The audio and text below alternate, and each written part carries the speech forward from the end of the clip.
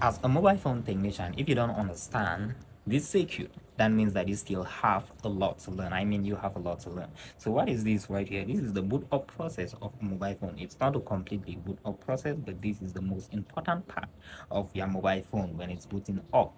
So what do we have here? I'm going to give you an explanation. This diagram right here is from my professional level course, but I'm going to give you a glimpse on what the course is about and the things that you're going to learn because this circuit right here is very important when it comes to troubleshooting, like deep troubleshooting uh, the mobile phone, or phone hanging on boot loop, or all that stuff. So what exactly is happening right here? We have three components right here, which are the main components that your phone needs to boot up. So what do we have here? We have the Power Manager IC, we have the CPU, and we have the eMMC. Let me come closer. I don't know if you are seeing that clearly.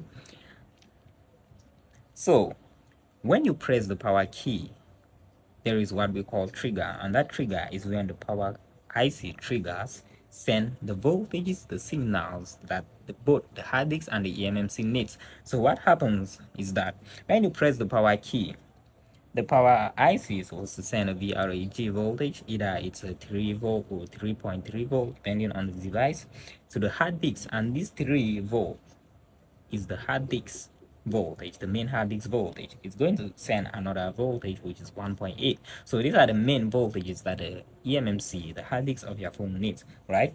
Okay, so after sending this voltage, it's going to send also a lot of VREGs, which are the vehicle voltage, the, the the voltage that the, the core processors of your CPU needs is going to send a VModem voltage. It's going to send a vGPU, which is a very important, which are very important GPUs when it comes to the graphics of your mobile phone.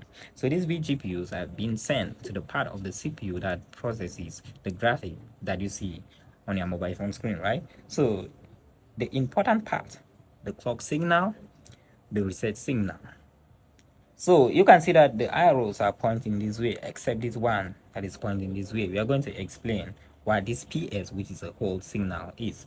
So after sending the VREG voltage, sending a, a clock signal and a reset signal to the CPU, the CPU is going to send a reset signal and a clock signal to the uh, to the eMMC.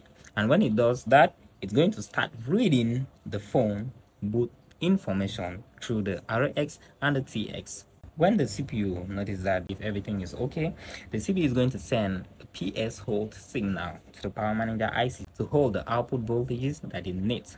So when you are working on a power problem in a mobile phone, you see those type of power problems on mobile phones that you press the power key, it shows trigger in a DC power supply. When you leave it, the, the, the current consumption drops back to zero. That happens because the CPU did not get enough information to send a hold signal to the power manager IC to hold that trigger. Okay, so like I said, this is from my professional level course in case you want to learn all this and how to troubleshoot because I actually show how to troubleshoot, find these lines in a mobile PCB and test all of them one by one when you are troubleshooting. If you want to learn all this, that's my number right there. You can send me a message on WhatsApp to get my course. So check my bio in case you are watching this on TikTok or check my video description down there in case you are watching this on YouTube. So follow, subscribe for more amazing videos and don't forget to get my course if in case you want to learn